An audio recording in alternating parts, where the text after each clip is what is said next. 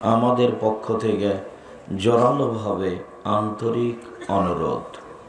সম্মানিত দিনী ভাই বোন আমি আপনাদেরকে নসিহাতে উপদেশে চারটা কথা বলেছি। তার একটা বলেছি, পাঁচ অক্ত সলাতের সাথে কোনো আপোষ নেই। আপোষ মনে কাল থেকে পড়ব, একটু পরে পড়ব, এরকম কোনো সুযোগ নেই। মানুষের জীবনে সবচেয়ে জরুরি কাজ পাঁচ অক্ত সলাৎ মানুষ হিসাবে মানুষের জীবনে পৃথিবীতে এর চেয়ে কোনো জরুরি কাজ নেই।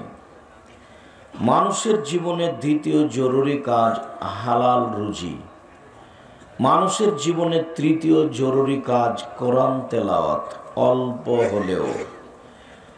অল্প হলেও এ কথা বলে নামতে নামতে আমি নিচে নেমে বলেছি অন্তত সুরায় ক্লাস তিনবার পড়বেন। চব্বিশ ঘন্টায় মাগরেবের পরে, ফজরের পরে বলে অন্তত নিজেকে বাঁচান। এই বলে যে আমি কোরআন মাজিদ পড়ি। আর এমনি পড়েন। আমি আপনাকে অনুরোধ জানিয়েছি যে রাত্রি দশটায় ঘুমিয়ে যাবেন। একবারে শক্তভাবে পরিকল্পনা রাখবেন। রাত্রি দশটায় ঘুমিয়ে যাব। মাগরেবের পরে খাবেন এসার সালাত আদায় করে এসে ঘুমিয়ে যাবেন। তাহলে আপনি রাত একটা, দুটা, তিনটায়, চারটায় উঠতে পারবেন। উঠে একটু আকাশের দিকে লক্ষ্য করে সুরা আল ইমরানের শেষ রুকুর প্রথম পাঁচ আয়াত, অন্যথায় লাহ শরিক লাহু, লাহুল মুলক ওয়ালাহুল হামদু হুয়া আলা কুল্লি কাদির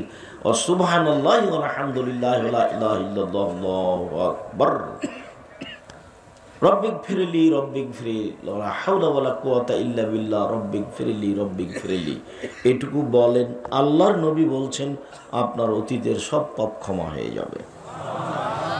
অজু করে দুই রেখাত সলাত আদায় করেন রাতে, দশটা আয়াত পড়েন, অন্তত দশটা আয়াত। আল্লাহর নবী বলছেন যে পৃথিবীর যারা বড় বড় ভালো মানুষ, যাদের জন্য জান্নাত প্রতীক্ষমান রয়েছে, নবী রাসুল সোহদা সিদ্দিক সলে ওদের একটা তালিকা আছে। আপনি যদি রাতে দুরেকাত সলাত আদায় করে দশটা আয়াত পড়তে পারেন, তাহলে আপনার নামটা ওই তালিকায় লিখে দেওয়া হবে। এ কথা মোহাম্মদ সাল্লাহ আলি সাল্লাম বলেন, মর্মে আমি তিন কোরআন মজিদ তেলাওয়াত করতে অনুরোধ জানিয়েছি। চতুর্থ নসিহাত বলেছি, দুইজন যেখানে বসে আছে সেখানে বসবেন না। এক কথায় জীবনে আড্ডা পিটবেন না। দুইজন আছে, ওখানে আপনার প্রয়োজন আছে, কথা বলে আপনি চলে যান। মানুষের সাথে বসে, দোকানপাটে বসে, গল্প গুজব করে নিজেকে ধ্বংস করিয়েন না। এই চারটা নসিহাত জরুরিভাবে মেনে চলার জন্য অনুরোধ রইল। সম্মানিত দিনী ভাই বোন আমি আপনাদেরকে অনুরোধ জানিয়েছি বহুদিন থেকে যে এই বালিয়াদিঘি, এই মাদ্রাসা, কওমি মাদ্রাসা, বেসরকারি মাদ্রাসা, এই মাদ্রাসায় যখন আসবেন, বক্তব্য শোনার জন্য আমি আব্দুর রাজাক বিন ইসুফ আপনার সাথে থাকি আর না থাকি, আসতে পারি আর না পারি, খালি হাতে আসবেন না। দুশো পাঁচশো, দুই হাজার, এক হাজার, পঞ্চাশ, দশ টাকা, বিশ টাকা সাথে নিয়ে আসবেন। আন্তরিকভাবে অনুরোধ থাকছে বহুদিন থেকে বলছি। এইখানে একটা কথা বলেছি, মনে রাখবেন, ইবাদতের জগতে সবচেয়ে শক্তিশালী এবাদত, ক্ষমতাধর এবাদত হলো দান। দান একটা ইবাদত। সলাত আদায় করে জান্নাত পাওয়া যাবে, তবে জান্নাত কিনা যায় না। শ্যাম পালন করে জান্নাত পাওয়া যায়, জান্নাত কিনা যায় না। হজ করে জান্নাত পাওয়া যায়, কিন্তু জান্নাত কিনা যায় না। দান করেই জান্নাত কিনা যায়। আল্লাহ বলছেন, আমি মোমেন পুরুষ নারীকে, নারীর কাছে আমি জান ও মালের বিনিময়ে জান্নাত আমি বিক্রি করে দিলাম। আল্লাহ বলছেন যে, আমি জান্নাত মোমেন পুরুষ নারীকে ওদের টাকা এবং ওদের মালের জানের বিনিময়ে আমি ওদের কাছে বেচে দিয়েছি, বিক্রি করে দিয়েছি। এই ভাষাটা আল্লাহ কোনো এবাদতের সাথে উল্লেখ করেননি। আর যখন আল্লাহর নবীকে জিজ্ঞাসা করা হয়েছিল, আল্লাহর নবী, মানুষের জীবনে সবচেয়ে ভালো কাজ কোনটা? এটা একটা জিজ্ঞাসা। আইউল ইসলামী খায়রুন। মানুষের জীবনে সবচেয়ে ভালো কাজ কোনটা? এটা একটা জিজ্ঞাসা। তখন উত্তরে তিনি বললেন, তুতিমোত্তম, দুস্থ গরিব ফকির মিসকিনকে খেতে দেওয়া, এটা হলো মানুষের জীবনে সবচেয়ে ভালো কাজ। এইটা দিয়ে জান্নাত কিনা যায়? এইটা দিয়ে জান্নাত পাওয়া যায় এ কথা নয়।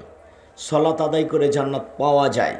কিন্তু দুস্থ গরিব ফকির মিসকিনকে খেতে দিয়ে জান্নাত কিনা যায়? আমি কিনেই নিয়েছি। সহজেই স্বাভাবিকভাবে জান্নাত পাব।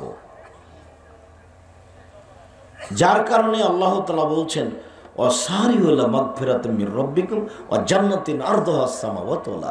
পৃথিবীর মানুষ, তোমরা আল্লাহর ক্ষমার দিকে, তোমাদের প্রতিপালকের ক্ষমার দিকে দৌড়িয়ে যাও, দৌড়াও দৌড়াও, কোথায় ক্ষমা আছে? আর জান্নাতের দিকে দৌড়াও, যার ব্যবধান আকাশ জমিনের ব্যবধান। ও ইদ্দাতলিল মুত্তাকিন। আর এটা তৈরি করা হয়েছে পরহেজগার মানুষের জন্য পরহেজগার কে الذين ينفقون في السراء والضراء والكاظمين الغيظ والعافين عن الناس যারা সচ্ছল অবস্থায় অসচ্ছল অবস্থায় দান করতে পারে ওরাই পরহেজগার যারা রাগকে দমন করতে পারে রাগের প্রতিশোধ নেয় নেয় জামাই কিছু বলেছে, মনটা খারাপ হয়েছে। প্রতিপক্ষ দল কিছু বলেছে, মনটা খারাপ হয়েছে। ভাই কিছু বলেছে, মনটা খারাপ হয়েছে। বনে কিছু বলেছে, মনটা খারাপ হয়েছে। রাগ রাগ উঠেছে। যে রাগের প্রতিশোধ নেয় না, তার জন্য জান্নাত প্রস্তুত আছে। আফিরানের নাস আর যে মানুষকে মাফ করতে পারে। আচ্ছা ভুল করেছে, মাফ করে দিলাম। আচ্ছা অন্যায় করেছে, মাফ করে দিলাম। মাঝে মধ্যে ছাত্রদের সাথে, আজকেও বলছিলাম বোখারি পড়াতে পড়াতে, যে ধৈর্য কি জিনিস গো? ধৈর্য তো আমি বুঝতে পারলাম না। আল্লাহ তো বলছেন ধৈর্যের কথা বহু জায়গাতে, কোরআন মাজিদও এসেছে, হাদিসও এসেছে। তো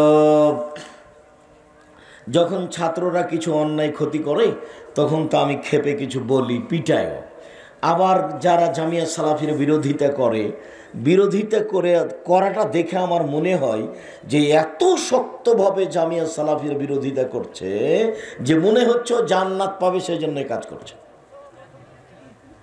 আর বিরোধিতা দেখে আমাকে এমন মনে হয়। তো তখন কিছু বলি, তারপরে বলছে আচ্ছা যে আমি যে কিছু বললাম, তাহলে এটা কি ধৈর্যের পরিচয় হলো? আসলেই কি ধৈর্য শব্দ, না ধৈর্যের বাস্তবতা কিছু আছে? অনেক সময় এই জায়গাতে নিজেকে আমি খুঁজে পাই না।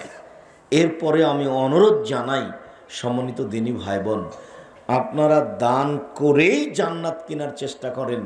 এ কথা আল্লাহ তালা বলেন, এ কথা মোহাম্মদ সাল্লাহ আলি সাল্লাম বলেন। মর্মে আপনাদেরকে রাসুল সাল্লাহ সাল্লামের ওই হাদিসটির প্রতি আমল করার জন্য অনুরোধ জানাচ্ছি। আদম সন্তান যখন সকাল করে, পৃথিবীতে যখন যেখানে সকাল হয়, আদম সন্তান যখন সকাল করে, পৃথিবীতে যখন যেখানে সকাল হয়, তখন আকাশ থেকে দুইজন ফেরেস্তা সেখানে নেমে আসে। নেমে এসে একজন বলে আল্লাহ লিকুল্লে মুলফিকিন খালাফা। আল্লাহ যে যতটুকু দান করল, তুমি তার ততটুকু পূর্ণ করে দাও। অপরজন বলে আল্লাহ আতে লেকুল্লে মুমসেকিন তালাফা আল্লাহ যে যতটুকু দান করল না, তুমি তার ততটুকু ক্ষতি করে দাও। হাদিস তো বোখারি, মুসলিম। আপনার কাছে এর কি বিচার আছে? হাদিস তো বোখারি মুসলিম, আপনার কাছে এর বিচার কি আছে? আবার বলি, একজন বলে, আল্লাহ, যে যতটুকু দান করল, তুমি তার ততটুকু পূর্ণ করে দাও। আর আরেকজন ফেরস্তা বলেন, আল্লাহ, যে যতটুকু দান করল না, তুমি তার ততটুকু ক্ষতি করে দাও।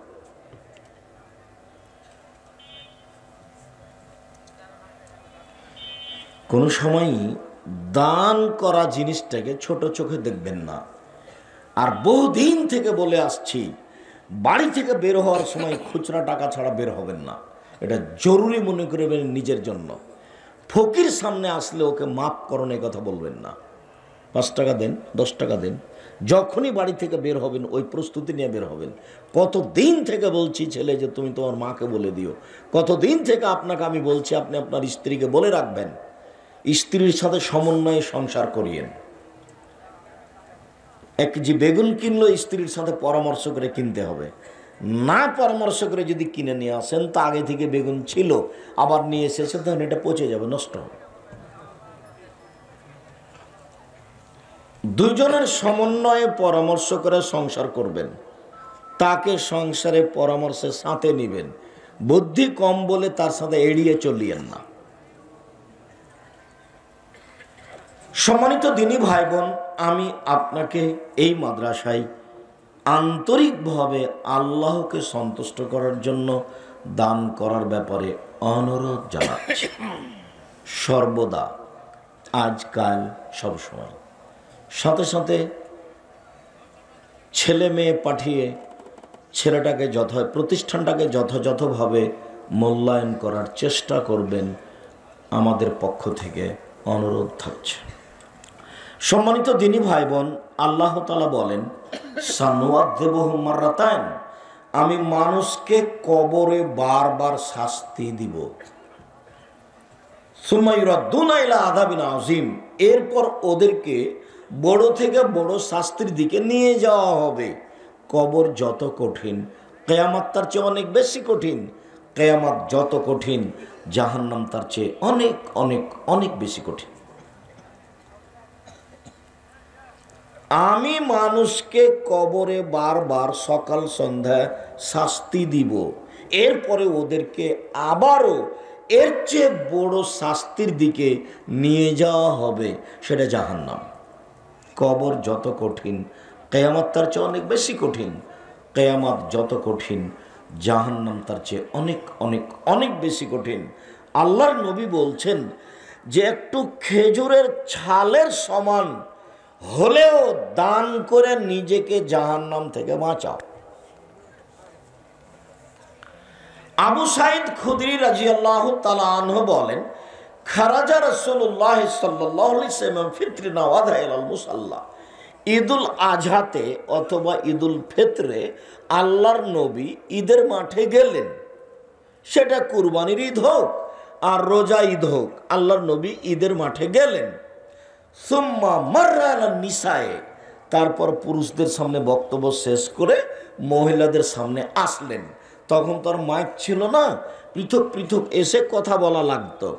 তখন মহিলাদের সামনে এসে বলছেন, ইয়া মাসারা নিশায় তা সাদ্দাক না উরি তো কুন্না আখতার আহলি না রে মহিলারা, শোনো, তোমরা দান করো, আমি তোমাদেরকে বেশিরভাগ জাহান নামে দেখছি। জাহান্নাম বলতে নারী আর নারী। জাহান্নাম বলতে নারী আর নারী। তো তোমরা জাহান্নাম থেকে বাঁচার জন্য দান করো। তাহলে জাহান্নাম থেকে বাঁচার একটা বড় মাধ্যম হলো দান। ঈদের সলাৎ তো আদায় করতে এসেছেন। সলাৎ আদায় করে তো জান্নাত হয়ই। পাঁচক তো সলাৎ আদায় করলে তো সব পাপ ক্ষমা। অজু করলেই তো সব পাপ ক্ষমা, তো জান্নাত তো হবে। তো জাহান্নাম থেকে বাঁচার একটা মাধ্যম, দান। তাহলে নবী বলছেন, আমি তোমাদেরকে বেশিরভাগ জাহান নামে দেখছি, তোমরা দান করে নিজেকে জাহান্নাম থেকে বাঁচাও। দান করে নিজেকে জাহান্নাম থেকে বাঁচানো যায়। যে টাকা পয়সা ইনকাম করছেন, সেখান থেকে চিরদিনের জন্য একবারে জরুরিভাবে কিছু দানের জন্য রেখে দিবেন। অসহায় মানুষের উপরে মন খারাপ করবেন না। কেউ এসে বলছে যে, রাস্তা খরচ হারিয়ে গেছে, মানুষের পকেট মেরে নিয়েছে, তাকে ধাক্কা দিয়ে ঝাঁকি মেরে গালি দিয়ে বের করে দিবেন না। অল্প কিছু দেন। অমসা এলা ফালাতানাহার। আল্লাহ বলছেন, ভিক্ষুককে তুমি ধমকায় বের করে দিও না। ভিক্ষুকের উপরে মন খারাপ হয়, এটা মানুষের স্বাভাবিক চরিত্র। দুপুরে খাওয়ার সময় এসে খেতে চাইলে মন খারাপ হয়ে যায়। বারবার বলছি, টাকা নেই, তবুও চাচ্ছে, তখনও মন খারাপ হয়ে যায়। আল্লাহ বলছেন, ভিক্ষুক অসহায় মানুষের উপরে রাগ করে তাকে বিদায় করে দিও না। সময় যেহেতু বেশি দিন নয়, অল্প কয়দিন বাঁচতে এসে ফকির মিসকিনকে অপমান করে, দলীয় দাপট দেখিয়ে মানুষকে খাটো করে দুদিন বেঁচে থাকার জন্য চেষ্টা করিয়েন না। আমার আন্তরিকভাবে অনুরোধ, আমি আপনাদের অনেক কাছের মানুষ। যেহেতু বগুড়া জেলাতেই আমার বক্তব্য শুরু হয়, যেহেতু এতদা অঞ্চলে হয়, বীরকুষ্টিয়া মাদ্রাসাতেই হয়, এইসব প্রতিষ্ঠানেই হয়, ঈদের খুতবা দেওয়াটা এখানে শুরু হয়েছে। আমি তো আসলে কোনোদিন কোথাকার এমামও নই, আর আমি কোনোদিন কারও অধীনে এমামতি করে কোনো রুজি ইনকাম করেছি, এ কথাও নয়। এরপরেও এখানে আসি। চাপ দিয়ে নিয়ে আসা হয়। তারা কোনোদিন ফিরিয়ে আমাকে পাঠিয়ে দিয়েছে টাকা ছাড়াই। এইটা আমার মনে পড়ে না। তবে আমি তার টাকার প্রয়োজন মনে করেছি এটা আমার মনে পড়ে না। ঠিক। তা আমি এসেছি ঈদের দিনও চেষ্টা করেছি। বিশেষ করে এই বালিয়াদিঘির মুসল্লি দিনী ভাই বোন আপনার সাথে আমার অনেক আন্তরিকতা। আমি চাচ্ছি নিজেও বাঁচেন আমাকেও বাঁচানোর জন্য একটু আল্লাহকে বলেন। খুব সময় অল্প দেখতে দেখতে। এই যে দেখলাম আমি কখন আসছিলাম প্রথমে এখন দেখি আসছি শেষে। মানে সময়ের শেষ। ব্রিকুষ্টে মাদ্রাসাতে যখন বক্তব্য শেষ হয়ে গেল বিরানব্বই নব্বই তখন মোহাম্মদ আলী মাস্টার টেকুর গাড়ি তোজাম্মেল মোল্লা সভাপতি। না, উনিও আছেন, কিন্তু সভাপতি হচ্ছেন মাস্টার সাহেব। উনি বলছেন যে, সাতচল্লিশ বছর পরে আমি বক্তব্য শুনলাম। শুধু হাদিস পড়ে অনুবাদ করে যে বক্তব্য হয়, তা আমি সাতচল্লিশ বছর আগে শুনেছিলাম মৌলানা আবদুল্লাহ সালেক কুড়ির। দিনাজপুরে আবদুল্লাহ সালেকুড়ি একজন মৌলানা ছিলেন, উনি শুধু হাদিস পড়ে বক্তব্য করতেন। তো আমার বক্তব্য শেষ হলে উনি এই মন্তব্যটা করেন। মনে হচ্ছে যে আজকেরই কথা, তিরিশ বছর আগের কথা। সম্মানিত দিনী ভাই বোন আপনাদের ভালোবাসাকে আমি আল্লাহ কবুল করুক, এ কথা আমি আল্লাহকে বারবার বলি। প্রতিষ্ঠানটার প্রতি ভালো নজর দিবেন। বলেন, রাসুল সাল্লাহ আলী আসাল্লাম বলেছেন, পৃথিবীর মানুষ তোমাদের জন্য তিনটা কাজ জরুরি। এক আতেমুল জায়া দুস্থ গরিব ফকির মিসকিনকে খেতে দাও। এটা আদেশ। দুই অদুল মারিজা, অসুস্থ মানুষকে দেখতে যাও। তিন, ফুকুলানি যারা বন্দি জেল হাজতে, ওদেরকে জেল থেকে বের করার চেষ্টা করো।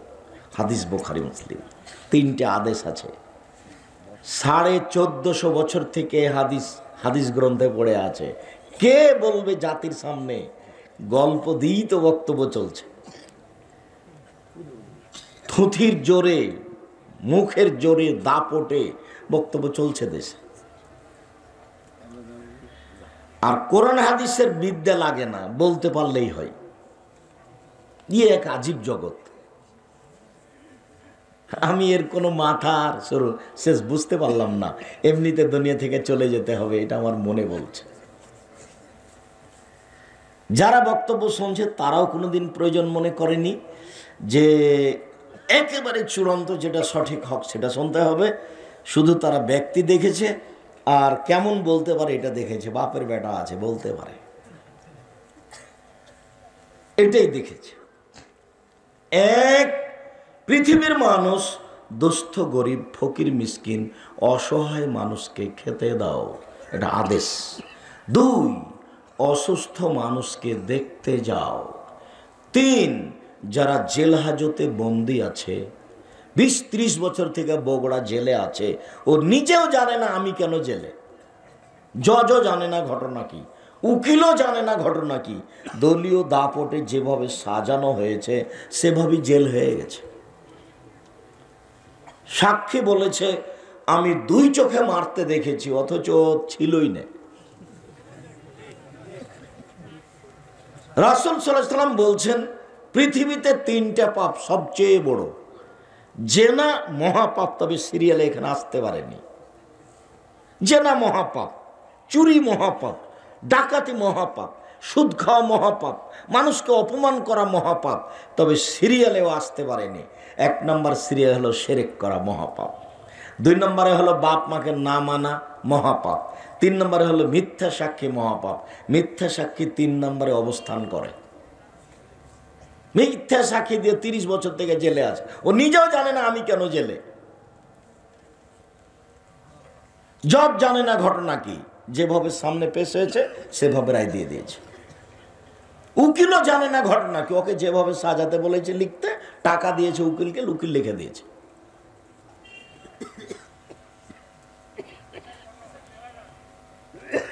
সম্মানিত দিনী ভাই বোন আমি অনুরোধ জানাচ্ছি, অসুস্থ মানুষকে দেখতে যাবেন, আর যারা জেল হাজতে আছে, তাকে জেল হাজত থেকে বের করার চেষ্টা করবেন। ২০ বছর থেকে লোকটা জেলে আছে, স্ত্রী জেল গেটের দরজায় আসে, লহর দরজার ওই পাশে থাকে, স্বামী এই পাশে থাকে, স্বামী স্ত্রী উভয় উভয়ে কান্নাকাটি করে, চোখের পানি পরস্পরে ঝরে, কিন্তু স্ত্রীর গায়ে মাথায় একটু হাত দেওয়ার কোনো পথ নেই। কোথায় চলে গেছে, স্ত্রী কোথায়, ছেলে মেয়ে? হিসাব নিকাশ নেই। কোথায় বাড়ি, কোথায় ঘর? সব বিলীন হয়ে গেছে। অথচ সুন্দরভাবে চলছিল একটা সংসার। তাহলে নবী বললেন, পৃথিবীর মানুষ, তোমরা বন্দি মানুষকে মুক্ত করার চেষ্টা করো। আবু আনহু বলেন, রাসুল সাল্লাহ আলী হাসাল্লাম বলেছেন, লিল মুমিন আলাল মুমিন সিত্ত খেসালিন। মোমেনের উপরে মোমেনের ছয়টা হক আছে। আমি আপনার কাছে পাই আর আপনি আমার কাছে পান। এটা পাও না হক মানে অধিকার। হক মানে অধিকার। আমার বাপ মারা গেছে, জমির আমি ভাগ পাবো, এটা আমার অধিকার। আমার বোন ভাগ পাবে, এটা অধিকার। বগুড়া জেলা বলে আমি নিন্দা করিনি, তবে কোনো সময় বনের জমি দুই দিন ভোগ করে খাবেন এটা মনে করিয়েন না। আর জমি দিয়ে দিলে সম্পর্ক ছিন্ন হয়ে গেল, এটা মনে করা অপরাধ। তিন শ্রেণির মানুষের দোয়া কবুল হয় না। তার এক শ্রেণির মানুষকে যদি পাপের দোয়া করে, আল্লাহ আমি জেনা করছি, কেউ যেন না দেখে। এটা একটা দোয়া, এটা কবুল হবে না। দুই, আত্মীয়তার সম্পর্ক ছিন্ন করার জন্য দোয়া, আমার বোন যেন আমার কাছে জমি জায়গা না চায়, ও যেন না আসে। এইরকম কথা আল্লাহর দরবারে কবুল হবে না। তিন, দোয়া করে তাড়াহুড়া করলে, কতদিন করছি, ছয় মাস করলাম, এক মাস করলাম, করতে আছি, কই কবুল হয় না। এরকম তাড়াহুড়া করলে দোয়া কবুল হবে না। হ্যাঁ বাচ্চা এক।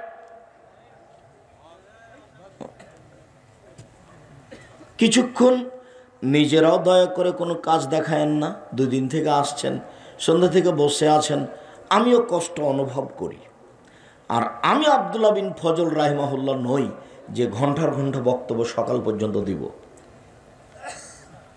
আমার একটা পর্যায়ে কিছু হাদিস মুখস্থ থাকে, কোরআন এবং হাদিসগুলো শেষ হয়ে গেলে আমার ওই আলোচনাটা শেষ হয়ে যায়। আর আপনাদের অনেক দোয়া, আল্লাহর অশেষ দয়া আমি ঘণ্টার ঘণ্টা হাদিস অনুবাদ করতে পারি, আলহামদুলিল্লাহ।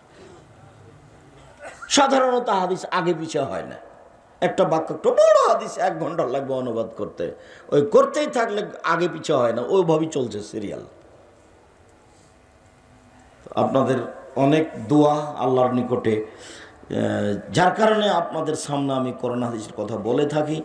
আল্লাহকে বলছি, আমরা মানুষ কোনো জায়গাতে ভুল ত্রুটি থাকলে তুমি মাফ করার আমাদেরকে কবুল করো। আর আমাদের কথা মানুষকে মেনে নেওয়ার মতো তৌফিক দান করো সুযোগ করে দাও। আর আপনাকে আমি বহুদিন থেকে বলে আসছি, আল্লাহর কসম, আমি এই বত্রিশ বছরে কোনোদিন অপ্রয়োজনীয় কথা বলিনি। এই বত্রিশ বছরে আমি কোনোদিন কেসা কাহিনী বলিনি। যার কারণে আপনাকে আমি অনুরোধ করি যে কথাগুলি মেনে চলার চেষ্টা করবেন। আহাল পরিবার, আপনি, আপনার স্ত্রী দুইজন মিলে সাজিয়ে গোছিয়ে সংসারটাকে সুন্দর করার চেষ্টা করবেন। ছেলে মেয়েকে শক্ত নজরে দেখার চেষ্টা করবেন। সেদিন কোথায় ছিলাম জানো গ্রামটার নাম কি? ফুলকোট। সেদিন এক পর্যায়ে আমি একটা কথা বলছিলাম আমার দিনী বোনদেরকে লক্ষ্য করে যে আপনার সংসারটা কেমন? দিনই বোনদের কথা বলতে গিয়ে আমি যখন বের হয়ে আসছিলাম তখন দেখছি সব বড় বড় মহিলারা হাট বাজারে দাঁড়িয়ে আছে। আচ্ছা আজকে জিনিস কিনতে হবে এটা কথা হলো? আপনি মহিলা মানুষ, ওখানে আপনি কেন গেলেন? কেন আপনাকে হাট বাজার করতে হচ্ছে আজকে? তো এই কথাটাতে বলেছিলাম জাবের রাজি আল্লাহ তালান একটা হাদিস, বোখারি মুসলিমের, যে জাবের রাজি আল্লাহ তালাহ বলছেন যে আল্লাহর নবীর সাথে আমরা একবার যুদ্ধ করে আসছিলাম মদিনে ঢুকবো। এরকম সময় আল্লাহ নবী বলছেন, আয়, সরো আয়, সরো। সবাই এখানে থামো, বসো। এখানে রাতে থাকব। সকালে আমরা বাড়িতে যাব। তো আমি জাবের বললাম, আল্লাহর নবী, আমি নতুন বিবাহ করেছি, আমাকে বাড়ি যেতে অনুমতি দেন। তখন আল্লাহ রসুল বলছেন, ও, নতুন বিবাহ করেছ? বিক্রানাম সাইবা তুমি কুমারী মেয়ে বিবাহ করেছ না তালাক প্রাপ্তা মেয়ে বিবাহ করেছ? মানে ছিল যে দাবি একটা, আর আল্লাহ রসুল বলছেন আরেকটা। তো তুমি কুমারী মেয়ে বিবাহ করেছ না তালাক প্রাপ্তা মেয়ে বিবাহ করেছ? তো বলছে, আল্লাহ রসুল সাইবা আমি তালাক প্রাপ্তা মেয়ে বিবাহ করেছি। তার বিবাহ হয়েছিল, ওর স্বামী তাকে ছেড়ে দিয়েছে, আমি তাকে বিবাহ করেছি। তখন আল্লাহ রসুল আবার বলছেন, আরে, হাল্লা বিক্রাম তোলায় বা তোলায় বকা তুমি কুমারী মেয়ে কেন বিবাহ করলে না? তুমি তার সাথে খেলতে, ও তোমার সাথে খেলতো। আল্লাহ নবী নিজেই মোহাম্মদ সাল্লাহ সাল্লাম তেরো জন স্ত্রীর বারো জনই হচ্ছে বিবাহিতা। একসাথে এগারো জন, তার মধ্যে মাত্র একজনেরই কোথাও বিবাহ হয়নি, বাকি কারও দুইজন, দুই জায়গায়, তিন জায়গায় বিবাহ হয়েছে। খাদিজা রাজি আল্লাহ তালা নিজে এটা তিন নম্বর বিবাহ। আগে দুইটা স্বামী পার হয়ে গেছে, মোহাম্মদ সাল্লাহ সাল্লাম হচ্ছেন তৃতীয় জন স্বামী। অথচ জান্নাত যাওয়ার ব্যাপারে পৃথিবীর ইতিহাসে বোখারি মুসলিমের হাদিস যেভাবে প্রমাণ করে, তাতে খাদিজার চেয়ে সম্মানী মানুষ মহিলা হিসেবে পৃথিবীতে কেউ নেই। মারিয়াম অনেক দামি, এরপরও খাদিজার পরে যেতে হবে। আসিয়া অনেক দামি ফেরাউনের স্ত্রী, এরপরও খাদিজার পিছনে যেতে হবে। আয়েসার জি আল্লাহ তালানা অনেক দামি, এরপরও খাদিজার পিছনে যেতে হবে। মারিয়াম দামি মানে কি? মারিয়াম অনেক দামি মহিলা।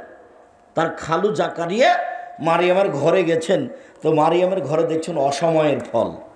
তখন জিজ্ঞাসা করছেন খালুতে, যে কি খবর মারিয়াম? এই সময়ে তোমার কাছে ফল মানে অসময়ের ফল? বলছে হাজাবিন ইন্দিল্লা খালু, এগুলো আল্লাহর পক্ষ থেকে।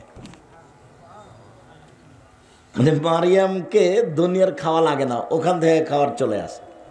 তাহলে কোনো দামের হিসাব নিকাশ থাকল কত উপরে?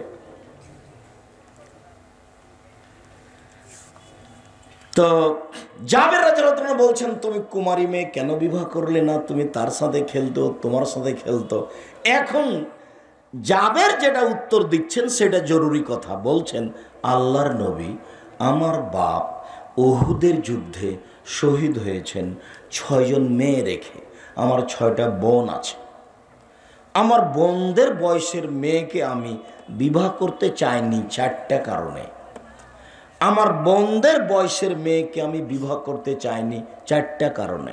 এক, লে তোয়াদ্দেবহন না আমার স্ত্রী যেন আমার বোনদেরকে শিষ্টাচার দিতে পারে।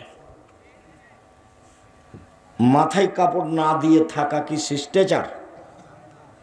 নগ্ন পোশাকে ঘোরা কি শিষ্টাচার? ঢং ঢং করে মেয়ে হাটে বাজারে চলে যাবে জিনিস কিনতে, এটা কি শিষ্টাচার? তাহলে বুঝতে হবে তার মা নেই আর না হলে তার মা শিষ্টাচার, জানে না। আমার বোনদেরকে যেন শিষ্টাচার শিখিয়ে দিতে পারে, এই জন্য তালাকপ্রাপ্তা মেয়েকে বিবাহ করেছি। দুই, তোয়াল্লে মোহন না আমার স্ত্রী যেন আমার বোনদেরকে বিদ্যা শিক্ষা দিতে পারে। জোহরের সলাপ আসরের সলাপ মাগরেবের সলাপ পেশাব পায়খানার দোয়া, ঘুমানোর দোয়া, বাড়িতে ঢোকার জন্য সালাম, বের হওয়ার জন্য সালাম, প্রত্যেকটা নিয়ম কানুন শরীয়তের জন্য আমার স্ত্রী আমার বোনদেরকে শিখিয়ে দিতে পারে। সেই জন্য আমি তালাক প্রাপ্ত মেয়ে বিবাহ করেছি। তিন অতুরাজ্জল হন না আমার স্ত্রী যেমন আমার বন্ধের মাথার চুল চিরনি করে দিতে পারে চার তাকুমা আলাইহিন না আমার স্ত্রী যেন আমার বোনদের উপরে প্রস্তুত থাকতে পারে। আমার স্ত্রী আমার বোনদের জন্য পাহারাদার। আপনার স্ত্রী, আপনার ছেলে মেয়ের জন্য কি? পাহারাদার। হাদিস বুখারি, মুসলিম। আপনার কি বিবেচনা আছে হাদিসের সাথে? আপনার স্ত্রী আপনার মেয়েদের জন্য পাহারাদার। এই কথা আল্লাহ রসুল বলছেন। এ কথা জাবের বলছেন হাদিস বুখারি, মুসলিম। উপস্থিত বৈঠকের মুসলিম বোন, কতদিন আপনাকে বললাম যে প্রসাব করাতে পারলে মা হওয়া যায় না? পাহারা পাহারাদারের নাম মা। যে শিষ্টাচার শিখাতে পারে সেই তো মা। বিদ্যা যে শিখাতে পারে সেই তো মা। যে মেয়েকে চুরির চিরুনি দিয়ে চুল আঁচড়ে পরিপাটি করে সাজগোজ করে রাখতে পারে সেই তো মা। যে সবসময় পাহারা দিতে পারে, মেয়ের ওপরে সেই তো মা। মনে থাকবে না মনে হয়, এক শিষ্টাচার শিখিয়ে দিবে মায়ে। দুই বিদ্যা শিখিয়ে দিবে। তিন মাথার চুল চিরুনি করে দিবে। চার সব সময় পাহারা দিবে। মনে থাকবে না মনে হয়? মুসলমানের উপরে মুসলমানের হক ছয়টি। এক, ইয়াউদ মারে যা অসুস্থ হলে দেখতে যেতে হবে, আপনি এটা আমার কাছে পান। আল্লাহ আমার আপনার প্রতি দয়া করেছেন, সেটা ভিন্ন। কি দয়া করেছেন? আপনি যদি সকালে আমাকে দেখতে আসেন, তাহলে সন্ধ্যা পর্যন্ত সত্তর হাজার ফেরেস্তা আপনার জন্য ক্ষমা চাইবে। কিন্তু আপনি আমাকে দেখতে আসতে বাধ্য। এখন তো মানুষ দেখতে যায় বেটি অসুখ হলে, বৌমা অসুখ হলে, আত্মীয় স্বজন। এখন মানুষ দেখতে যায় দলীয় মানুষ অসুস্থ হলে। আর দলের বিরোধী কেউ যদি অসুস্থ হয়ে ঠিক হয়েছে ঠিক হয়েছে ঠিক হয়েছে এই জন্য দল সংগঠন করিয়েন না, অযথা দুনিয়াতে জাহান নাম কেনার প্রয়োজন নেই। পাঁচ অক্ত সলাতের কথা বলেছি আপনাকে আমি। আর হালাল রুজি উপার্জন করতে বলেছি। কোরআন তেলাওয়াত করতে বলেছি। আড্ডা পিটিয়েন না, মানুষের বিরুদ্ধে যেতে হবে না। মানুষের বিরুদ্ধে গিয়ে কোনো লাভ নেই। মানুষ যদি বিরোধিতা করে মানুষ কিছু করতে পারত, তাহলে জামিয়া সালাফিয়াকে মানুষ এভাবে এভাবে ফোন দিয়ে উড়িয়ে দিত। কিন্তু সেটা সম্ভব নয়। ২৬ বিঘা জমির ওপরে জামিয়া সালাফিয়া ডাঙ্গিপাড়া অবস্থান করে। রূপগঞ্জ নারায়ণগঞ্জ জামিয়া সালাফে একান্ন বিঘা জমির ওপরে অবস্থান করে। আঠারো বিঘা জমির ওপরে দিনাজপুর জামিয়া সালাফে অবস্থান করে। প্রায় চার হাজার ছেলে মেয়ে পড়াশোনা করে। আড়াইশো জন শিক্ষক, শিক্ষিকা, কর্মচারী আছে, যাদের প্রতি মাসে বেতন লাগে তিরিশ লক্ষ। দেশের বিদেশের শিক্ষক আছে, বিদেশি শিক্ষকদের এক একজনের মাসিক বেতন আছে ষাট পঁয়ষট্টি হাজার যাতায়াত সব কিছু খরচ মিলে প্রায় আশি হাজার টাকা খরচ আছে তাদের পিছনে। কীভাবে হয় তা আমি নিজেই বুঝি না, তা আপনাকে আমি কি দিয়ে বুঝাবো? আমি আপনাকে দোয়া করতে বলেছি যে জামিয়া সালাফিকে কবুল করো। এছাড়া আমি আপনার কাছে জোরালো কোনো দাবি রাখি আমি শেষে বলেছি, পতিতালয়ের মহিলা যদি কুকুরকে পানি পান করে জান্নাত পেতে পারে তাহলে জামিয়া সালাফিয়াতে যদি মানুষ দশ টাকা দান করে, তাহলে জান্নাত পাবে ইনশাল্লাহ এদেশের সেটাই জামিয়া সালাফিয়া, যেখানে কোনো দল নেই, যেখানে কোনো শিল্প নাই, যেখানে কোনো বিদাত নাই, যেখানে গেলে কাউকে নামানো লাগে না, কাউকে উঠানো লাগে না, কারও বদনাম করা লাগে না। কাউকে এভাবে উঁচু করা লাগে না, কাউকে এভাবে নিচু করা লাগে না। আপনি যান জামিয়া সালাফতে বক্তব্য দিন, একবার আমার নাম নেওয়া লাগবে না। আপনি গেছেন, মানুষকে হেদায়তি কথা বলবেন, সালাম দিয়ে চলে আসবেন। বাইশ তেইশ ডিসেম্বর যাবেন, জামিয়া সালাফের ডাঙ্গিপাড়া পবা রাজশাহী, বাইশ তেইশ ডিসেম্বর। দেশ বিদেশের যারা শীর্ষস্থানীয় বড় বড় আলেম, তারাই থাকবে। কণ্ঠের ঢং দেখিয়ে আপনাকে পরিবর্তন করতে আমি কোনোদিন চাইনি, প্রতিষ্ঠান দিয়েও চাই না আমার দাবি, মুখে কলমে মিডিয়া আমি দিন প্রচার করব। মিডিয়া দেখতে পাচ্ছেন, মিডিয়াতে কথা বলছি। কলম মাসিকা লিতে পত্রিকা বই পুস্তক আর এই যে মুখে বলছি।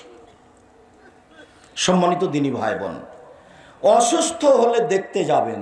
দুই যে মাতা, কেউ মারা গেলে তার জানা যায় যাবেন। জানা যায় গিয়ে যদি মাটি দেওয়া পর্যন্ত থাকেন, তাহলে দুই কেরাত নেকি হবে। আর জানাজা পড়েই যদি চলে আসেন, তাহলে এক কেরাত নেকি হবে। এক কেরাত সমান হল অহুদ পাহাড়ের সমান। অহুদ পাহাড় হলো চার কিলোমিটার প্রশস্ত, আট কিলোমিটার লম্বা। নিচে কত আছে তা মানুষ জানে না। তাহলে আমি জানা যায় গেলে কত নেকি পেলাম, এটাও হিসাবের বাইরে চলে গেল। এটা আল্লাহর দয়া, কিন্তু আমাকে যেতে হবে, এটা বাধ্য। মাইকিং করা হারাম। অমুক ব্যক্তি তার নিজ বাসভবনে রাত তিনটার সময় ইন্তেকাল করিয়েছে, তার জানাজা বিকাল তিনটায় অনুষ্ঠিত হইবে, আপনারা দলে দলে উপস্থিত হইয়া সব শিষ্য হবের ভাগিদারে না, একবার নগদ মিথ্যা কথা। জাহেলিয়াতের যুগে চিৎকার করে মানুষের মরণের খবর বলা হতো সেই জন্য আল্লাহ রসুল এটা নাকচ করে দিয়েছেন। জাহেলিয়াত। মানুষ মারা গেলে জানা যায় যেতে হবে। তিন ইজুবে যা দাওয়া মানুষ দাওয়াত দিলে দাওয়াত খেতে যেতে হবে। এটা একটা জরুরি অংশ। দাওয়াত দিয়েছে, চলেন দাওয়াত খেতে যাই। দাওয়াত খেতে গিয়ে যদি দেখেন সির্ক বেদাত হচ্ছে, বাজনা গান চলছে, তাহলে ফিরে আসতে হবে, ফিরে আসাও জরুরি। রাসুল সাল্লাহ সাল্লামের বাড়ি থেকে জিব্রাইল ফিরে গেছেন। ভুলে গেলেন, ওই যে ওই যে ওই যে ওই যে একদিন আল্লাহ নবী সকালে খুব চিন্তিত হয়ে বসে আছে। তো উম্ম সালমা বলছেন রাজি আল্লাহ আচ্ছা আল্লাহ নবী, আপনি চিন্তিত কেন? ঘটনা কি? আরে জিব্রাইল তো রাতে আমার কাছে আসতে চেয়েছিলেন। তিনি আসলেন না, কি যে হলো আমি বুঝতে পারলাম না। কেন আসলেন না? তা আমি খুব চিন্তিত, কি হলো? তো এখন উঠেই তার চোখের নিচে একটা কুকুরের বাচ্চা ছিল। তিনি কুকুরের বাচ্চাটাকে বাইরে করে ফেলে দিলেন, দিয়ে ওখানে নিজে হাতে পানি ছিটিয়ে দিলেন। জিব্রাইল চলে এসেছে। তো আল্লাহ নবী বললেন, আপনি যে আমার সাথে অদা করেছিলেন, রাতে আসবেন আসেন নিজে তখন জিব্রাইল বলছে যে, আমি এসেছিলাম তো। আমি এসে ঘুরে গেছি। আপনার চোখের নিচে কুকুরের বাচ্চা ছিল, সেই জন্য আমি ঘুরে চলে গেছি। যেই ঘরে কুকুর থাকে, ছবি মূর্তি থাকে, আমরা সেই ঘরে প্রবেশ করি না। আর আপনি আপনার বাপের ছবিটাকে কত সুন্দর করে সাজিয়ে রেখেছেন। সুন্দর করে বেঁধে ছেঁধে বাপের জন্য দোয়া করেন এক একবার। দোয়া জানেন? হ্যাঁ ছাড়াই দোয়া জানো? আল্লাহ মাগফিরিল্লাহ আবি, অরফা দারজাতা হুবিল মাহদিন। আল্লাহ, তুমি আমার বাপকে ক্ষমা করো, তাকে উচ্চ মর্যাদা দান করো, তুমি তার কবরকে প্রশস্ত করো, তুমি তার কবরকে আলোকিত করো। এটা বেটার দোয়া বাপের জন্য। কিছুই যদি না পারেন, তো রব্বের হামহমা কামার আব্বায় নেই সাগেরা, এটা তো এটাও বলার জন্য একটা পরামর্শ দেওয়া আছে, সলাতে সালাম ফেরার পড়বে পরামর্শ মনে নাই মনে হয়। কিন্তু আমল করতে পারি না, মাঝে ভুলেই খালি অনেকেই পারেন, তা দেখা যাচ্ছে। তা আসলে মনে থাকে না।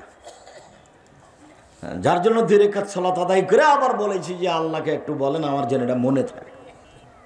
আমলের কিছু অংশ সবাই জানে, কিন্তু বাস্তবায়ন করতে পারে না। পেশাব করে উঠে এসে ওরে, পেশাব করতে বসেছিলাম দু অত পড়িনি। পেশাব, পায়খানা খরচ করে, পানি খরচ করার পরে এসে দেখছে, তো আমি তো দোয়া পড়িনি।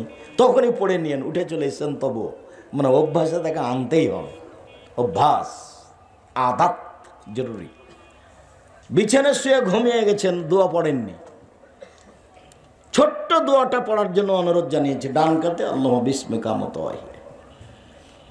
আর অনেক বড়টা পড়তে বলেছি। আল্লাহ আসলাম তো নফসি ইলাইকা, অজ্জাহাত ওয়াজি ইলাইকা অফাউস্তামরি ইলাইকা অলজাত জাহারি ইলাইকা, রাগবাত রাহবাতান ইলাইকা, লা মালজা ওলা মানজা মিনকা ইল্লা ইলাইকা, আমন্ত বিকিতাবিকা আল্লাহ জা আনসালতা ও নবিয়কা আল্লাহ জা আরসালতা। বুখারী, মুসলিম, এই দোয়া পড়ে আল্লাহ রসুল নিয়মিত ডান কাতে ঘুমাতেন। আব্দুল এসে ওটা লম্বা হয়ে গেল। তো কি করব? তো আয়তল কুরসি পড়েন। তাহলে এটাও বড় কি করব? তাহলে সুরা বাকার শেষ দুই আয়াত পড়েন। তো এটাও বড় তাহলে ছোটতে ফিরে আসেন। আল্লাহ বিসমে কামত অহিয়া তোমার নামে মরছি, তোমার নামে জীবিত হব। তোমার নামে মারা যাচ্ছে, তোমার নামে জীবিত হব। ঘুম হলো মরণ। ঘুম হলো মরণ। এ কথা বলে শুইতে হবে। খুব খেয়াল করে থাকতে হবে। সম্মানিত দিনই ভাই বোন, দাওয়াত খেতে যেতে হবে। এটা জরুরি।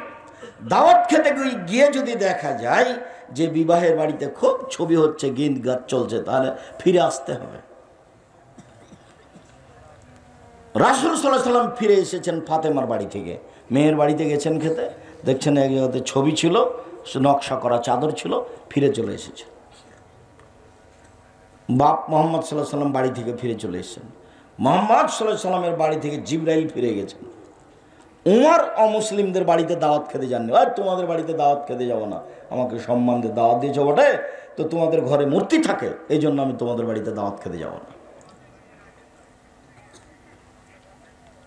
কে বড় ক্ষতিগ্রস্ত বইটা আপনাকে আমি পড়তে বলেছিলাম। খুব মন কষাকষি করে দিন কাটান নাকি? তা আশা দেখে তো মনে হয় যে মন কষাকষি নেই, তো বই নাই কেন বাড়িতে? কিনেছিলাম, ওটা কে যে নিয়ে গেছে? আবার কিনবেন। কে বড় ক্ষতিগ্রস্ত, কে বড় লাভবান, আদর্শ পরিবার, আদর্শ নারী, বক্তা, শ্রোতার পরিচয় তাপসিরকে মিথ্যা হতে পারে।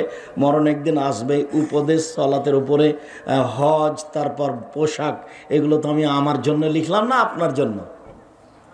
মুকসুদুল মমিন বই কেন কিনে রেখেছেন?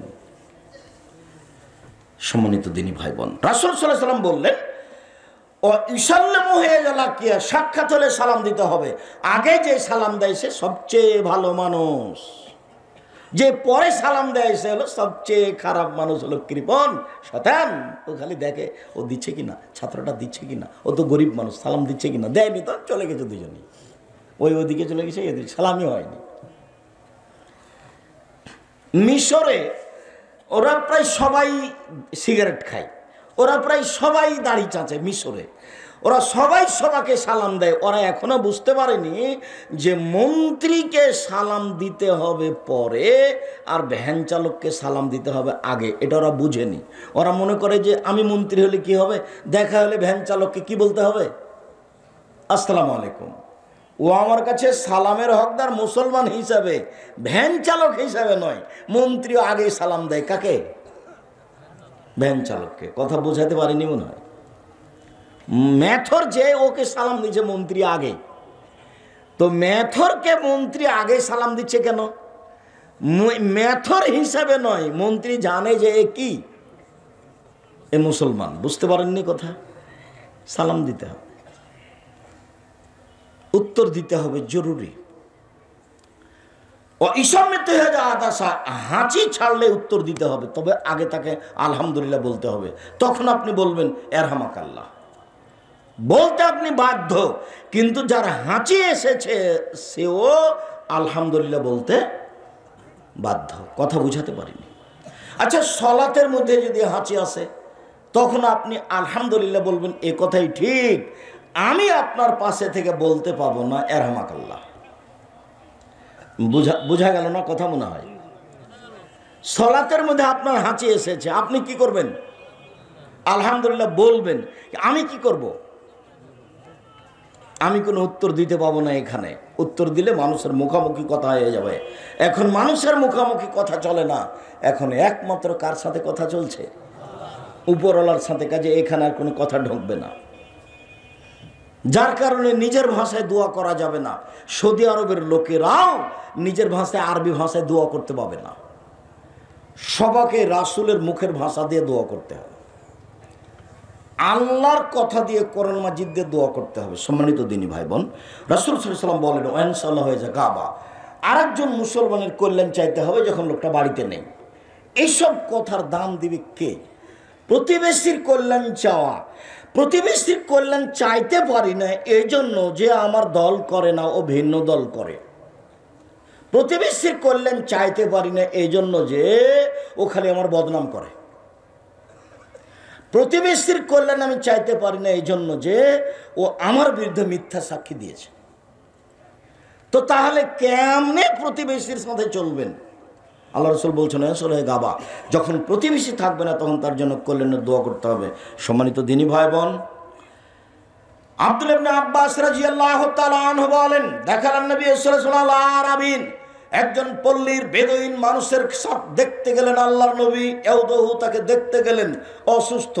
আল্লাহর নবী গরিব থেকে গরিব, মেথর থেকে মুচি মুচি থেকে মেথর, এরকম লোকের বাড়িতে যেতেন।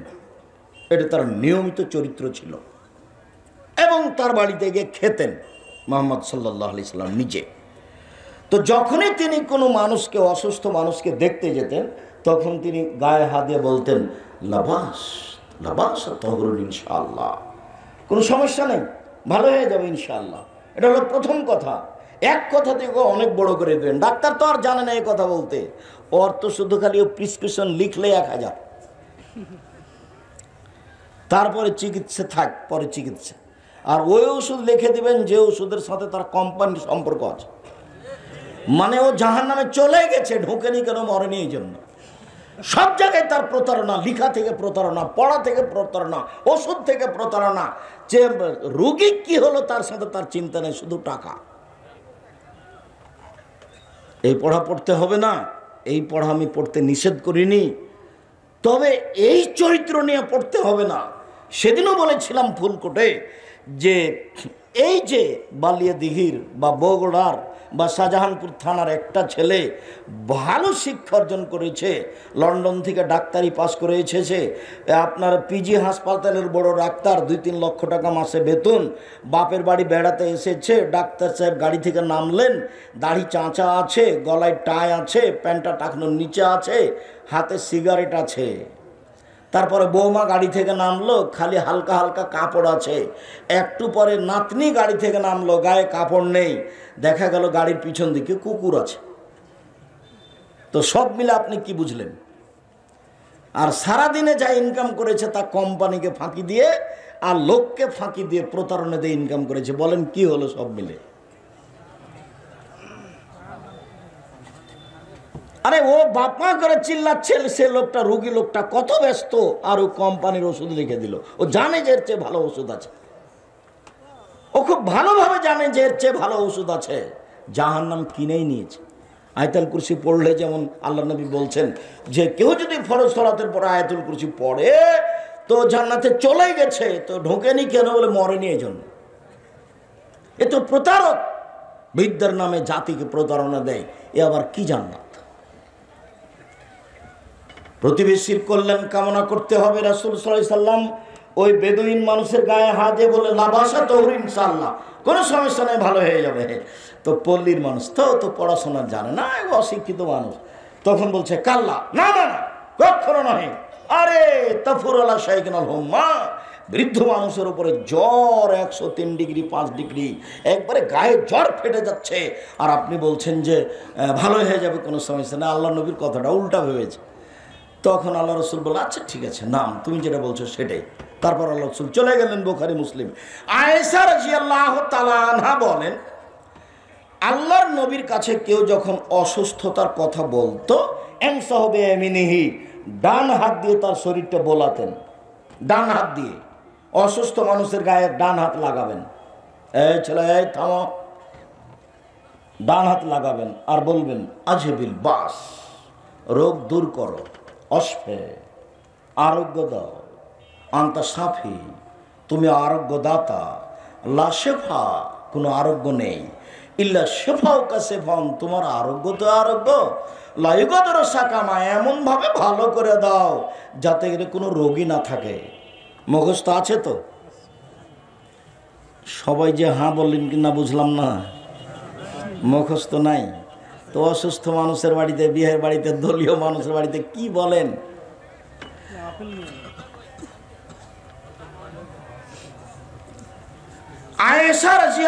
তালা আনহা বলেন, যখনই কোনো মানুষ অসুস্থতার কথা বলতো, আল্লাহ রসুল ফা আল্লাহ রসুল আঙ্গুল দিয়ে তার শরীরটা বোলাতেন আর বলা বার বলতেন, বিসমিল্লাহ তুরবত আর যে না আল্লাহর নামে, আমাদের জমিনের মাধ্যমে। বেরিকাতে বাজে না আমাদের কারও থুথুর মাধ্যমে। লাইসফা সাকিমোনা, আমাদের অসুস্থ ব্যক্তিকে আরোগ্য দেওয়া হোক। বেইজিনে রব্বে না আমাদের প্রতিপালকের অনুমতিতে এই দোয়া পড়তেন। এটাও জানা নাই। আগেরটাও জানা নাই, এটাও জানি না এবার আয়েশা রাজিয়াল্লাহ তালা আনহা বলেন, এবার জানা আছে। আয়েশা রাজিয়াল্লাহ তালা আনহা বলেন, আল্লাহর নবী যখন অসুস্থ হতেন, তখন নিজের হাতটা নিজের গায়ে বোলাতেন।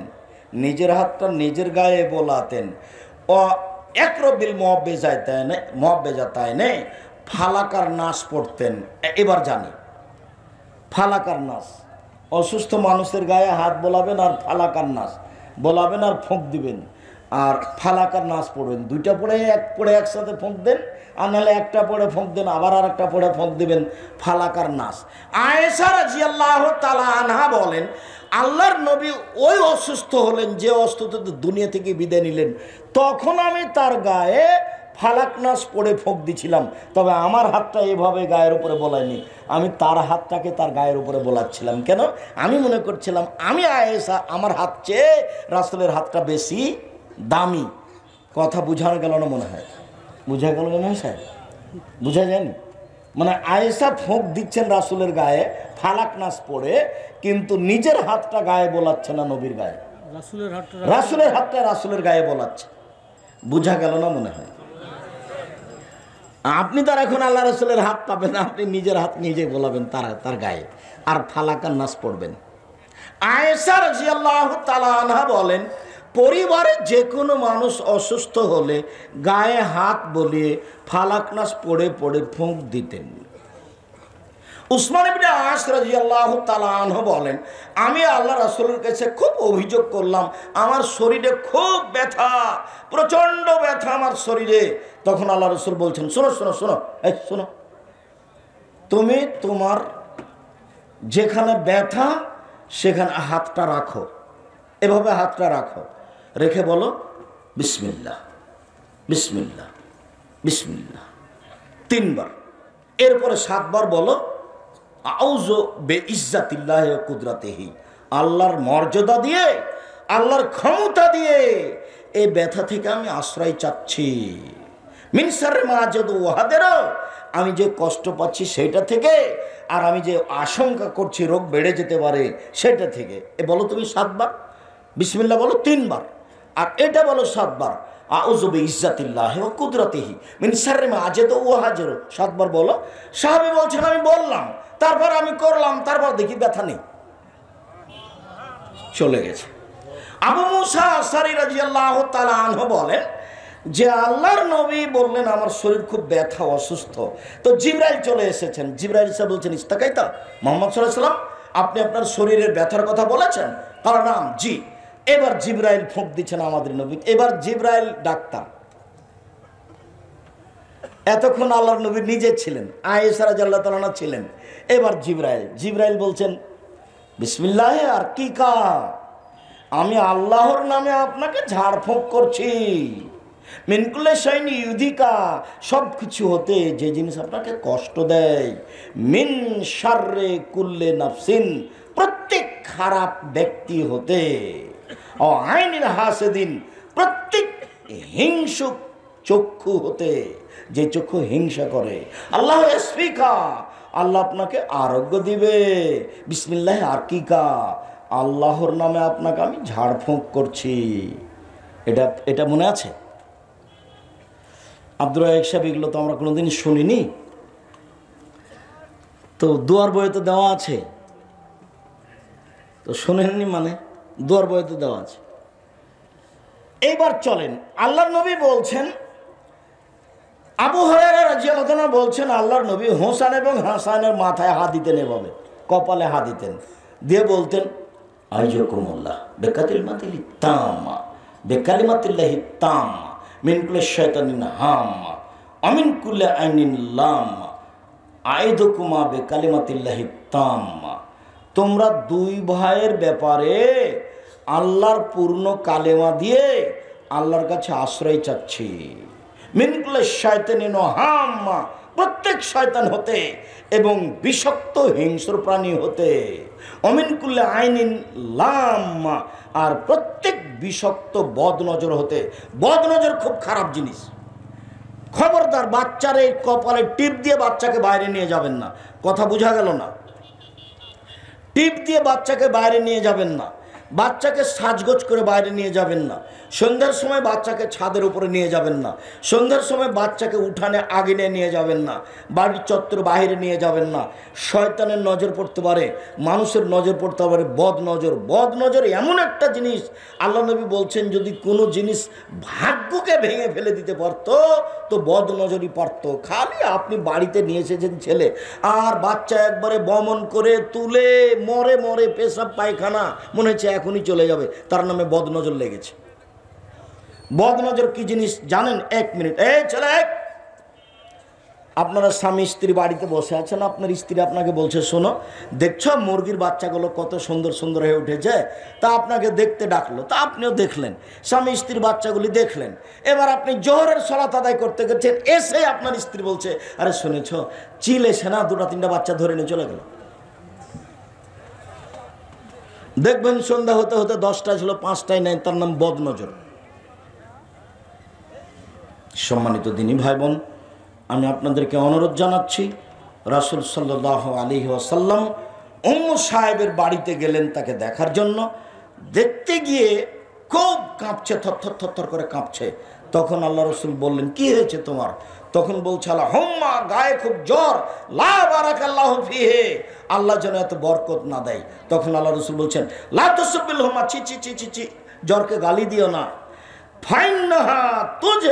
খাতায় বানি আদাম কি মানুষের গায়ের জ্বর মানুষের পাপকে মিটিয়ে দেয়। যেভাবে কামারের ভাটি লহা এবং সোনা চাঁদি থেকে ময়লা দূর করে দেয়। কামারের ভাটি যেমন ময়লা দূর করে দেয় সোনা চাঁদি থেকে তেমনি ভাবে এই মানুষের গায়ের জ্বর মানুষের যত পাপ আছে সবকে মিটিয়ে দেয় রাসুল সাল্লাহ আলী ওসাল্লাম বলেন, যখন মানুষের গায়ে অসুখ, বিসুখ, জ্বর, ব্যাধি হয়, মানুষ যখন চিন্তিত হয়, দুরারোগে আক্রান্ত হয় তখন ইকফেরুল্লাহ তালা সাইয়াতিহি, আল্লাহ তালা তার সব পাপকে মিটিয়ে দেন। ও তাহুত্ত কামা তাহুত্ত সাজারত কাহা যেমনভাবে গাছের পাতা যখন শুকিয়ে যায়, তখন টপ টপ টপ টপ টপ টপ করে পাতা যেমন ঝরতে থাকে, মানুষ যখন বিপদে পড়ে, মমিন পুরুষ নারী, গায়ে যখন জ্বর হয়, তখন তার পাপগুলি এভাবে ঝরতে থাকে। আয়েশা রাজিয়াল্লাহ তালা আনহা বলেন যে, রাসুলের গায়ে প্রচণ্ড জ্বর, ব্যথা দেখার পূর্ব পর্যন্ত আমি ভাবতাম যে মানুষ পাপ করলে মানুষের অসুখ বিসুখ হয় বেশি। কিন্তু রাসুল কি পাপ করলেন? তার গায়ে এত জ্বর, আমার উরু রানের ওপরে তিনি বসে শুয়ে আছেন। তিনি বলছেন, মাত্র রসুল্লাহ সাল্লাম বাইনা হাকে নাতি ও জাকে নাতি? আল্লাহর নবী দুনিয়া থেকে চলে গেছেন, আমার চিবুক এবং বুকের মাঝে থেকে আমার কোলে ছিলেন আমার থুতনির সাথে মাথা লেগেছিল। চিবুক এবং বুকের মাঝে থেকে তিনি দুনিয়া থেকে চলে গেছেন। আমার একটা আনন্দের বিষয় যে, যখন তিনি আমার বুকের উপরে ছিলেন, তখন আমার ভাই আব্দুর রহমান মেশাক নিয়ে বাড়িতে ঢুকলেন। তো তার মেশাকের দিকে তাকাচ্ছেন। তা আমি বললাম, মেশাক নেবেন? তখন একটু ইশারা করে বললেন হ্যাঁ আমি একটা মেশাকের ব্যবস্থা করে আমি নিচে দাঁতে চাবিয়ে আল্লাহ রসুলকে দিলাম, আল্লাহ রসুল মেশকটা দাঁতে ঘষতে লাগলেন। আমি খুব খুশি হলাম এই জন্য যে আমার থুথু রাসুলের থুতুর সাথে মিশে গেল জীবনের শেষকালে আমার থুথু রাসুলের থুতুর সাথে মিশে গেল শেষকালে আমি আল্লাহ রসুলের কাছে দিকে তাকিয়ে আছি, আমার কোলের উপরে আছে, সামনে একটা বাটি আছে, বাটিতে পানি আছে। তিনি বারবার বাটিতে হাত দিচ্ছেন, দিয়ে পানিতে হাতটা ভিজে নিয়ে মুখের এভাবে বোলাচ্ছেন মানে গায়ের জ্বর একটু কমানোর চেষ্টা করছেন। শেষবারের মতো তিনি হাতটা বাটিতে ঢুকিয়ে নিয়ে আসতে চাইলেন মুখের দিকে, কিন্তু এভাবে আস্তে আস্তে আস্তে আস্তে মুখ পর্যন্ত আসলো না। হাতটা যখন নিচে পড়ে গেল, তখন তিনি বললেন, আল্লাহ বির রফিকিল আলা। আল্লাহ, তুমি আমাকে ক্ষমা করো, আমার প্রতি দয়া করো। উপরে যারা সম্মানী নবী রাসূল সালেহ সিদ্দিক সোহদা, ওদের সাথে আমাকে মিলিয়ে দাও। এই কথা শেষ, দুনিয়া থেকে শেষ। সম্মানিত দিনী ভাই বোন আমরা আলোচনার শেষের দিকে এসে আপনার কাছে জরুরি কয়েকটি কথা। যে কথাটি প্রথমে বলেছিলাম, দান সবাই করেছেন, এই কথা আমি জানছি।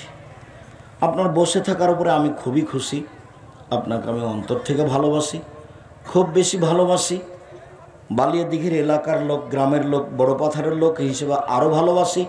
আমার বক্তৃতার জন্মের এলাকার লোক সেই জন্য আপনাদেরকে আলো ভালোবাসি। আমি এই ভালোবাসার খাতিরে দু তিনটা কথা বলছি। তার একটা কথা হলো এই, যে খালি হাতে কেউ যাবেন না দশ টাকা, পঞ্চাশ টাকা, দুশো টাকা না দিয়ে। আর বাইশ তেইশ ডিসেম্বর সম্মেলন রাজশাহীতে, আর তেসরা ফেব্রুয়ারি সম্মেলন দিনাজপুরে আর দুই তিন মার্চ সম্মেলন রূপগঞ্জ নারায়ণগঞ্জ ঢাকায় মর্মে সকল দিনই ভাই বোনকে এই মাদ্রাসায় সম্ভবপর দশ টাকা পঞ্চাশ টাকা দুশো টাকা বৈঠকি দান। বৈঠকি দান থেকে কেউ ফিরে যাবেন না। সেটা যেটুকু পকেটে করে নিয়ে যাচ্ছিলেন সেখান থেকে বিশ টাকা পঞ্চাশ টাকা হোক। ও আর বই আছে। মাসিকা লিতেশন পত্রিকা আছে ওটা আমি ভুলে গেছিলাম। আবদুল্লাহ লিখা মিন্নাতুল বাড়ি বই আছে সব বইগুলি আছে। মনটাকে কোনো সময় খালি নিয়ে যান, আর বৈঠকি দান, কেউ চলে যাবেন না। আমি আপনাদের জন্য আন্তরিকভাবে দোয়া করি। আল্লাহ সাল্লাহ আলাইহে আল্লাহ বারেক আলাইহে বারাক আল্লাহ যে যতটুকু দান করছে, করল। আল্লাহ তুমি তাদেরকে সেটুকু পূর্ণ করে দাও। ওই সামনেও থাকবেন, যারা পয়সা উঠাচ্ছেন, আর ডান দিকে বাম দিকে সামনে তো মিডিয়া ভর্তি হয়ে আছে। ডান দিকে বাম দিকে এসে বিশ টাকা, পঞ্চাশ টাকা, দুশো টাকা আমি আপনাদের জন্য দোয়া করছি। বইগুলি নেবেন আর সহযোগিতা করে যাবেন। আল্লাহ সাল্লি আলাইহে আল্লাহ বারিক আলাইহে বারাক আল্লাহ আলাইকা। আল্লাহ বারিক আল্লাহ বারিক বারাক আল্লাহ আলাইকা। আল্লাহ আপনাদের অর্থ সম্পদে জমি জায়গায় ব্যবসা বাণিজ্যে বরকত দান করুক। রাসুল সাল্লামও বলেছেন, আল্লাহ বলেছেন যারা কিছু দান করে, তুমি তাদের জন্য দোয়া করে দিও। সাকানুল্লাহম, তোমার দোয়াটা তাদের জন্য কল্যাণকর, নিরাপত্তার কারণ হয়ে যাবে। সেই সোননাথের অনুসরণ করো তো। আমরা আপনাদের জন্য আন্তরিকভাবে দোয়া করছি। আল্লাহ আপনাদের অর্থ সম্পদে বরকত দান করুক, আপনাদের রুজিতে বরকত দান করুক, আপনাদের অর্থ সম্পদ, ব্যবসা বাণিজ্যে আল্লাহ নিরাপত্তা দান করুক। আল্লাহ সাল্লি আলাইহে আল্লাহ বারেক আলাইহে। কেউ খালি হাতে যাবেন না। নিজের কাছে টাকা না থাকলে কারও কাছে দশ পঞ্চাশটা নিয়ে প্রতিষ্ঠানে দিয়ে যাবেন। চেয়ারে বসে নামাজ হবে কি না? নামাজ হবে, তবে চেয়ারে বসে বসার প্রমাণ করা যায় না। এখন একটা প্রথা হয়ে গেছে। আমরা চেষ্টা করছি শরীরের গতি অনুযায়ী পড়বেন। না পড়লে বসে পড়তে পারেন। তবে চেয়ারে বসে পড়া প্রমাণ করা যায় না।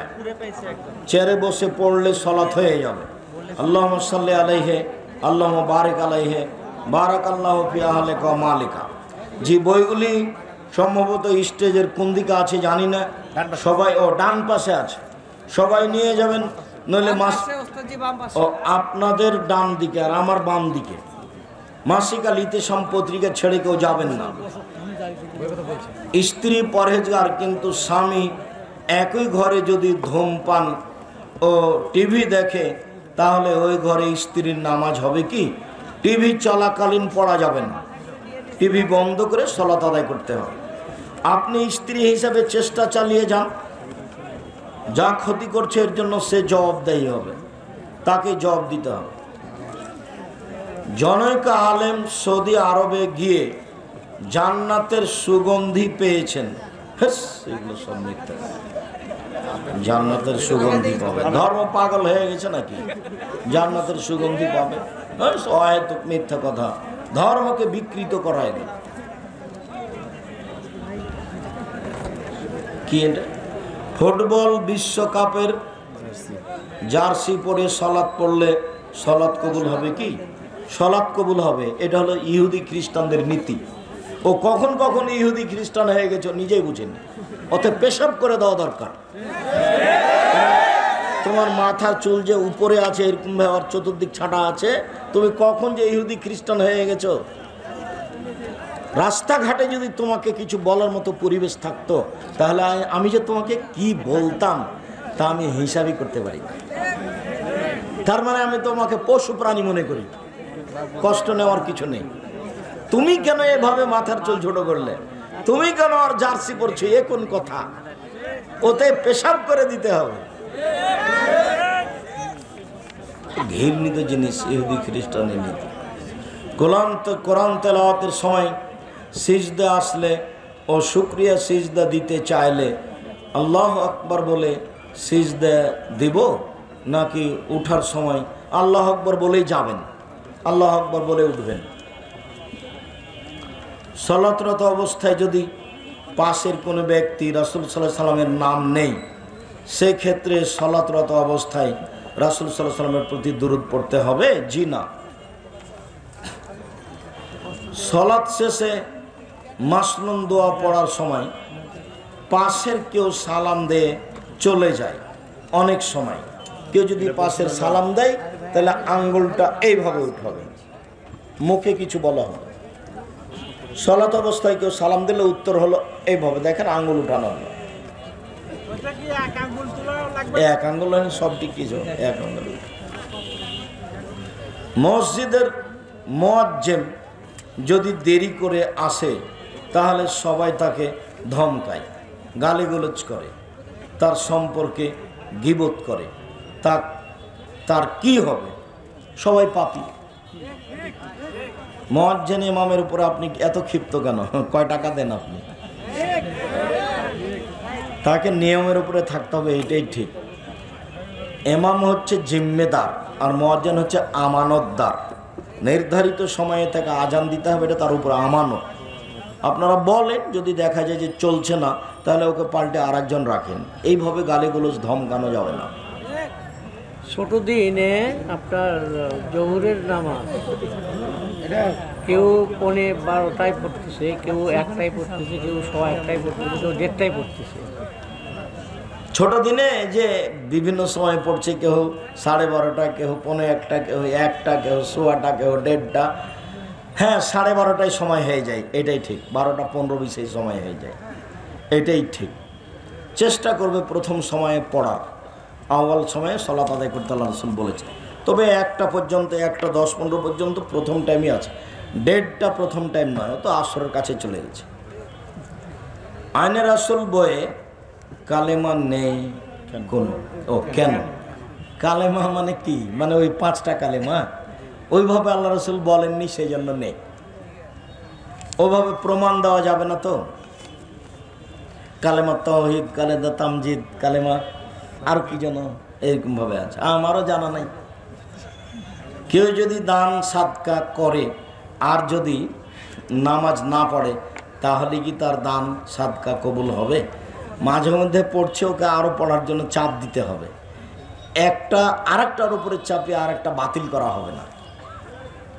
ওকে সলাত আদায় করতে বলেন আর দান করার জন্য অনুরোধ করেন। বাবা মা ছোটোবেলায় আঁকিকা দেয় নাই, এখন আর আঁকিকা দিতে হবে না। সাত দিনের পরে আঁকিকা নেই, পুরাতন কথা এটাই ঠিক।